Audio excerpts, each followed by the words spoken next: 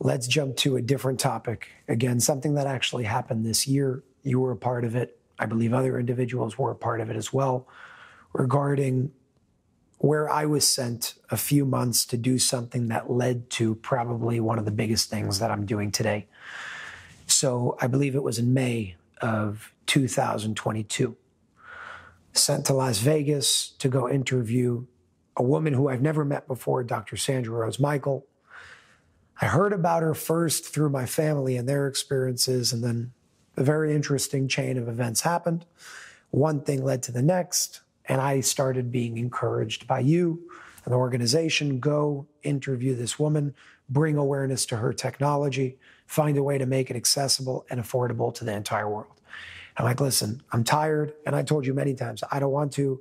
I don't want to get on another plane. I need to go to sleep. You said, okay. And then you kept pushing every so often until there came a point where I understood I need to go do this because there's a very good reason for it. So I stopped questioning it. I got on the plane. I went to Dr. Sandra Rose Michael's house with my father, actually. And from that whole situation, interviewed her, put it out, and everything changed. That interview was seen by tons of people, and it literally created a, a massive, massive initiative for the entire world that's benefiting from it right now. That whole thing is called UNIFYD healing, as you know, and we could speak about that later. But my question for you is number one, did you know the impact that this was going to make when you encouraged me to go and interview her? Did you know that something like this was going to come to fruition? I knew it was possible. What did you know about Dr. Sandra Rose Michael before I was sent to go interview her? It's not important. You've said multiple times, and one time specifically that I remember clearly, that a lot of her knowledge doesn't come from learning in this life, but comes from memories from past lives. You said that she's been a master in many lives in many different places. Everything she knows is out of past memory. She went to school, but she really didn't need school. It was all through memory. Yeah, she doesn't have to go to school. She's a genius. School's a joke for her. Sometimes she doesn't even know how she knows what she knows, but she knows. She was, in a way, approached by the organization back in July of 2011. And from what she shared, they pretty much said there's going to come a point where we're going to interfere and get this technology everywhere. And her words that she heard from them was it's going to be everywhere very, very quick. 11 and a half years later, I was sent to do that interview. I even remember when the whole thing came into my mind, which was the whole UNIFYD Healing Network. I think I called you right when that was happening, and I said, I have an amazing idea. Told you about the idea. We put the whole thing together really quick. And in a very short period of time, in the first five months of launching that initiative, we reached over 100 centers around the world.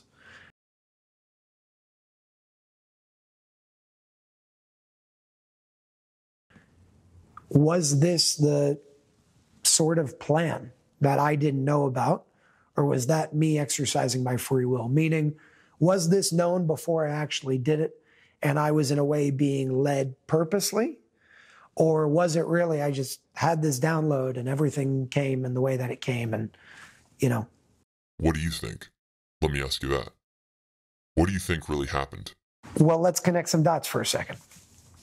I told you after the idea came into my mind, and it came into my mind real quick. Three or four days later, it was already built. We had a website, we had everything. Then I started having second thoughts. And I sat with you back and forth for a period of two weeks. I kept calling you, I kept speaking to you. I said, listen, I don't want to do this. This is too much work for me. It's scaring me. And I started freaking out and getting overwhelmed. And what did I say? And your words, paraphrased obviously, was do whatever you want. But, and I'll never forget, you said this is going to be the biggest thing you've ever done. And this is going to be one of the keys that's going to bring you next level beyond anything that you've ever done so far. And in a way, that also scared me because I was already doing so much. But hearing you keeping on saying that every time I resisted, saying, I don't want to do this, this is too much, I sat on it and I, I consulted with other people and, like, what the hell do I do? You know, is this the right thing to do? Can I do it? Do I have the ability? And again, you said, if this is being put in your hands, of course you have the ability.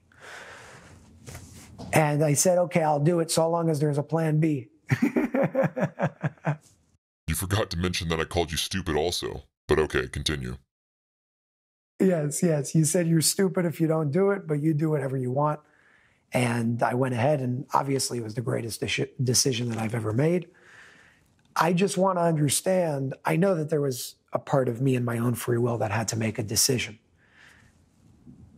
But did they know it was going to get this big this quick? Because this is huge. You haven't seen nothing yet. You're saying it's only the beginning. Yes. But you also have to understand not only all of your viewers are watching this video or the videos you're creating, the enemies are watching also. So there are certain liabilities that come with the job, so just be ready. Do you believe that as more tasks are thrown my way, and even Dr. Michael's way in this situation as well, because she is now in a limelight, do you believe that protection comes with that?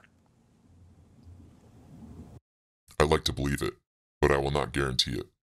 What's your overall stance of that technology?